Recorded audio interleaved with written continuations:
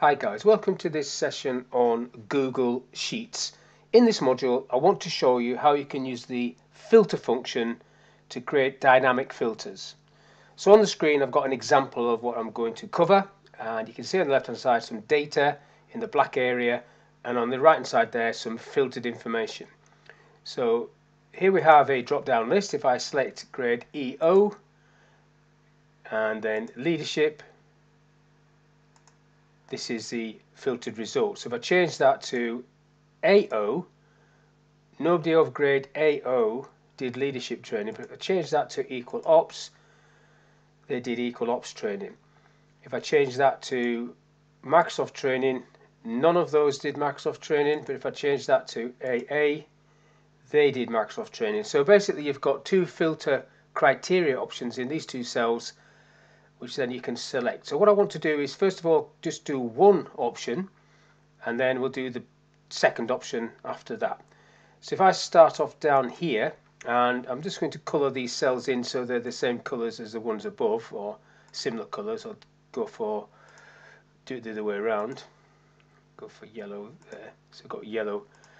Now I want to put a list, a drop down list, a data validation list here now I haven't got it typed anywhere so I'm going to actually manually put that in there. And the way you do that is you go to the uh, data tab uh, data validation and it comes up with some options for you to use. A list of items is the option I want and then it says there enter items separated by comma. So I'm now needing to type in the different grades and there's only three grades there. So I'll go AO comma EO comma, and then AA, and that will be the list. Uh, save that, click on the arrow, there you can see the list. Now in the second option, I've actually got the courses set there. Now I want to use a named range on this, so I've highlighted this list and I've typed in there list. So I've called that list. So basically just select where you want the list to, or what you want the list to be. So I've highlighted that and then you type in this box list and press enter and then that names that area. So now I can refer to that. Same thing but this time I can refer to that. So data validation list and then I'm just going to type in there equals list.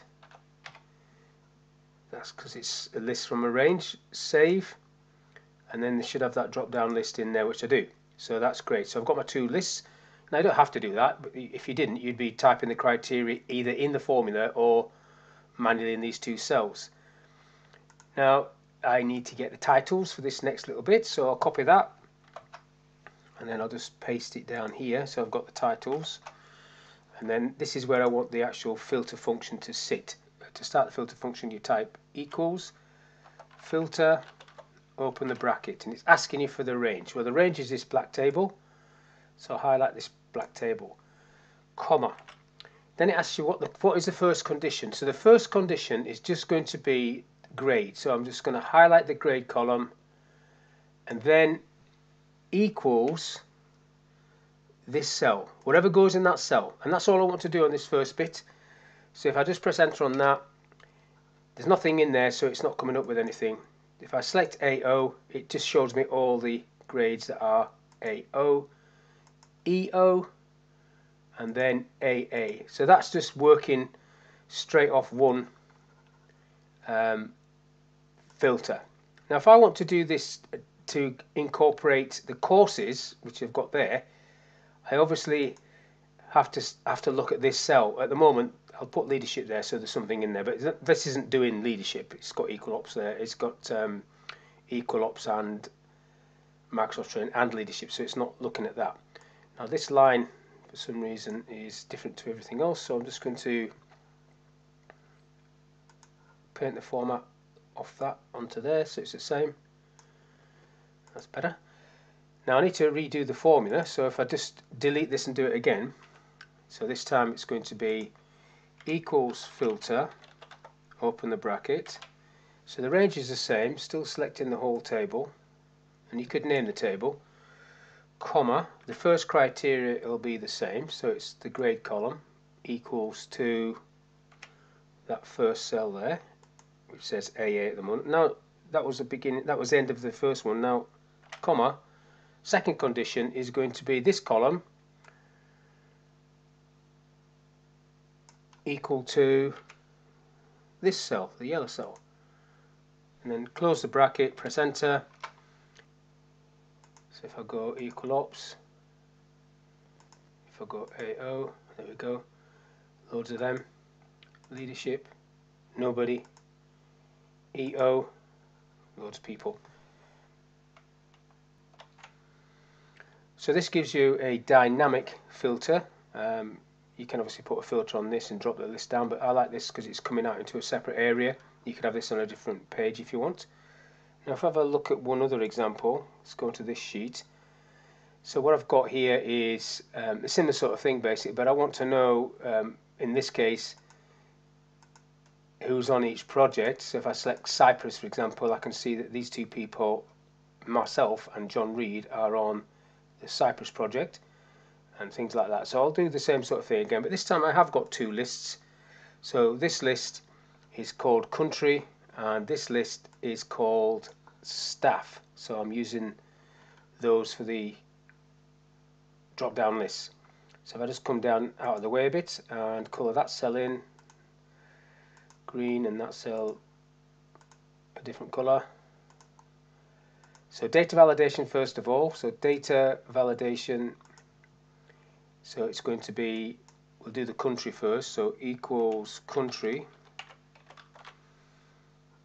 save, check it, there's the countries, and then this one wants to be equals staff, so if I go back into data validation, data validation equals staff, save, check. So there's my two lists. Now if I just bring these titles across, if I just copy these and sit them there. Now I need to do the filter function. So in this cell I type equals filter, open the brackets, and then the range is still this table, range, comma, the criteria first of all is going to be the country that's going to be in the green cell, or whatever colour that is. And then that equals this cell. Press enter on that. No matches found because there's no country, but if I select Cyprus, it brings those two people back. Both of those are in Cyprus. Now if I delete that one again, just to go over it again, now I'm going to pick both of these up, so it'll only bring back one person unless there's a duplicate down there. So if I type equals filter open the brackets the range is the same comma the criteria for the country is equals this cell comma and the criteria for staff equals this cell. Press enter on that select myself and then it brings that person in that information in So if you wanted to see or have a filter that just showed you the person, if I go um, come down below and do another one, so if I just have one option this time, so I'll just colour this one in um, that colour, and in there I'll do a data validation list, data validation equals staff, and then that gives me that list. And then I'll just copy the titles again. Copy control C. Let's bring it down. In fact I'll just bring it underneath there. Paste. Now if I do the filter here so this time I'm going to look at staff so it's equals filter open the bracket. The range is still the same table comma the criteria is going to be the staff area. And that needs to equal whatever goes in this green box. Press enter on that. Nothing there at the moment. Select my name. Brings back all my projects. Select Tom Jones. Brings back his.